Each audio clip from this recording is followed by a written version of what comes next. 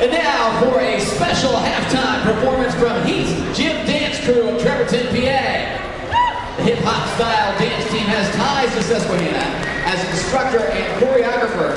Cody J. Gaboth is a SU alum from the class of 2011. The crew is comprised of two groups, Tiny Dancers ages 3 through 6 and Shooting Stars age 6 to teen.